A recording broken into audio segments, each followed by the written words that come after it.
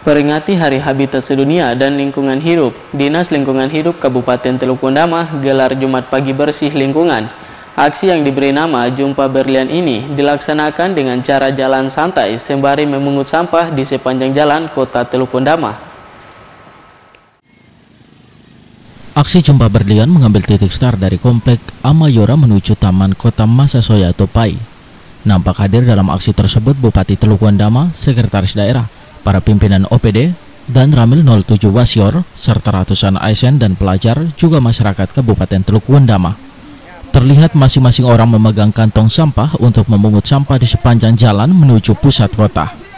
Pelaksana tugas Kepala Dinas Lingkungan Hidup Kabupaten Teluk Wendama, Sony Samberi mengajak seluruh masyarakat untuk menjaga dan mencintai lingkungan dengan tidak membuang sampah sembarangan, namun langsung ke tempat pembuangan sampah yang telah disiapkan.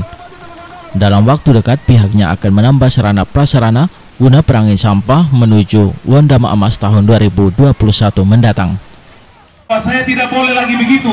Saya harus makan atau buat sesuatu yang menghasilkan sampah harus taruh di tempatnya supaya kita punya tempat ini tetap bersih. Ya, tidak buang sampah lagi ke laut, tidak buang sampah lagi ke sungai, tidak buang sampah lagi ke mana-mana tempat. Tapi kalau bisa kita taruh di tempat yang sudah disiapkan.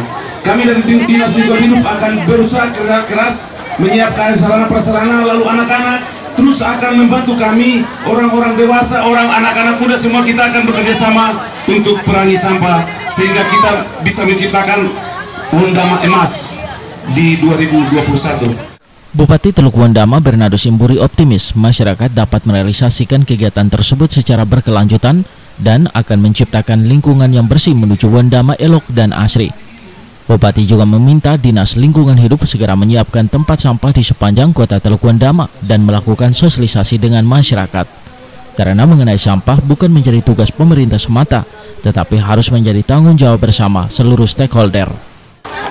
Kepada Dinas Lingkungan Hidup saya sampaikan beberapa hal kiranya kita bisa kegiatan tadi bagus, mungkin Dinas Lingkungan Hidup siapkan tempat sampah dengan potongan yang bagus mulai dari pelabuhan sampai ke bandara dan sampai ke kantor bupati setiap 50 meter kah 100 meter kah bikin bagus taruh di situ. Kita kasih tahu baik-baik kita kasih mengerti rakyat ini masyarakat ini maka sedikit demi sedikit kita akan jadi bersih atau jadi elok di akhir kegiatan dilakukan aksi penanaman pohon oleh Bupati Teluk Wendama dan pemasangan papan informasi tentang pentingnya menjaga lingkungan oleh para pimpinan OPD serta masyarakat. Dari Teluk Wendama, Martinus Mayor mengabarkan.